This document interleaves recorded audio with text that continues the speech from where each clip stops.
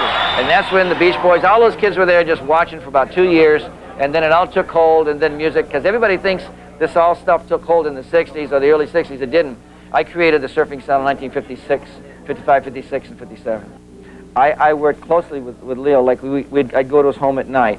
Uh, Leo was a fellow that didn't like stereo. He didn't like fan, he didn't like uh, uh, um, trans transmitters. I experimented the first transmitters with him uh, on the guitars, and he liked just plain single monaural. We used to sit and listen to uh, um, Marty Robbins singing uh, at, in his living room through a little old 12-inch speaker. Um, now, when I was playing at the Rendezvous, when I would play, when we had 17 kids, it was okay. But when we had 4,000 people, the sound would be sucked up. There'd be no fat sound. So Leo and Freddie would come down and say, now this is what Dick is trying to show us. And he would hear what I was trying to show by the heavy staccato on the string.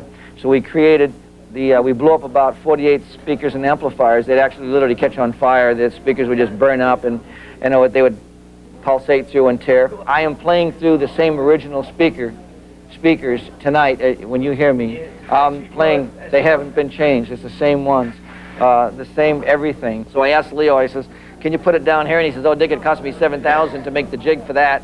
And about two weeks later, he was a, a present, he gave it to me. But the neck is a right-handed neck, so it's a left-handed body, it's a right-handed neck, and I play upside down backwards. Created first those amplifiers for country players. Right. And, the, and my hero was Hank Williams, and I cut my teeth playing country music.